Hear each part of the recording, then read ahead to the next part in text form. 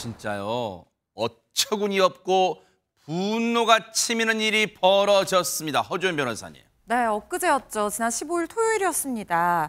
전북 군산에서요. 제목 그대로의 너무나 안타깝고 또 어처구니 없고 분노가 치미는 그런 사고가 발생했는데요.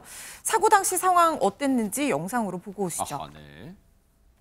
왕복 6차로 도로입니다. 빨간불 횡단보도 시도가 초록불로 바뀌어서 사람들이 길을 건너기 시작하는 모습인데요. 네. 초록불이에요. 네. 그래서 사람들이 안심하고 길을 건넜는데 그 순간 옆에서 오토바이 한 대가 달려오더니 차마 끝까지 보여드릴 수 없습니다. 그대로 보행자 두 명을 덮쳤는데요. 신호를 무시하고 질주하다가 발생한 그런 사고였습니다.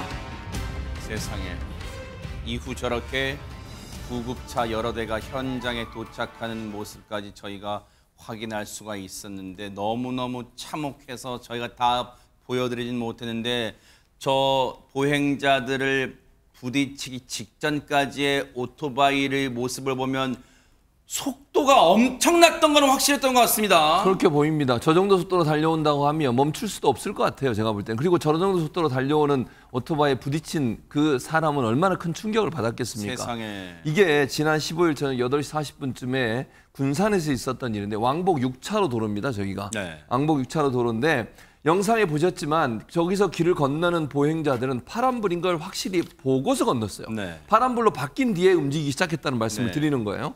그럼에도 불구하고 이 신호를 무시하고 빨간색이니까 멈춰야 되는데 신호를 무시하고 오토바이가 달려온 게 배달 오토바이입니다. 이 배달 오토바이가 전속력으로 달려와서 저 두 두 사람을 결국 추돌하게 된 사건이 발생하게 된 것입니다. 아. 이 사고로 크게 다친 50대 남녀 급히 병원으로 이송됐지만 모두 다 안타깝게 숨졌고요. 피해자들은 56세 누나와 51대 51세 남동생인 것으로 알려졌고 이 남매들은요. 그 옆에가 공원이었거든요. 아. 공원 산책을 하고 밤에 집으로 돌아가는 길이었는데 이런 참변을 당하게 됐습니다.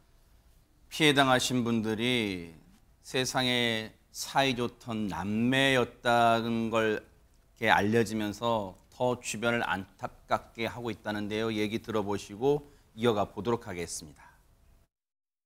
소방서에서 오셔가지고 심폐소생 하고 막 두분 쓰러져가지고 지금 너무 어처구니 없는 게요. 너무 화가 나서 제가 목소리가 커지지도 않아요. 아까 화면 보면 CCTV 보면요. 유인경 평론가님 보행자 입장, 보행자 신호를 보면 빨간불에서 즉 멈추시오에서 건너가시오 파란불로 바뀌자마자 저분들 건너는 게 아니에요. 파란불로 되고 나서 한참 천천히 여유 있게 가셨단 말이에요. 그러면 다 바꿔 말하면 저 오토바이 운전자 입장에서는 중간에 노란불, 황색불로 된- 된 다음에 빨간불이 된, 거- 된 다음에 한참 뒤에 와서 지금 저분들 치었다는 얘기예요, 지금! 그렇죠. 근데 사고를 낸 오토바이 기사는 이제 20대 남성으로 밝혀졌는데 이 사람은 주장하기를 어, 거리를 건너 그 신호보드를 건- 건너는 남매를 보지 못했다고 합니다. 뭐라고요? 그런데 중요한 거는요. 운전자가 봐야 될 거는 보행자들이 아니라 신호죠. 신호를 봤으면 이런 사건 안 나죠. 그리고 이 환자는 사고 그 직후에 어, 병원으로 이송하라 그랬는데도 본인이 거부했다가 다시 현재는 병원에 입원해 있는 것으로 밝혀졌습니다. 두 남매는 안타깝게 생명을 잃었는데 제 주변에도 멀쩡히 보행을 하다가 신호를 잘 보고 하다가 다리를 잃은 분들도 꽤 있습니다. 한 사람의 판단 착오가 너무나 많은 상처를 주는 것 같습니다. 이 오토바이 운전자 너무 어처 제가 진짜 이런 얘기 안 하려고 했는데 지금 뚫린 게 입이라고 입에서 나오면 다 말이에요. 어디 보행자를 보지 못했다는 얘기가 나와요. 그리고 보세요. 저 CCTV 보면 박성배 변호사님 저 보행자분들 무슨 어두운 색 옷을 입은 것도 아니에요. 지금 그런데 보행자를 못 봤다. 지금 이런 말도 안 되는 얘기를 짓거리고 있어요. 지금.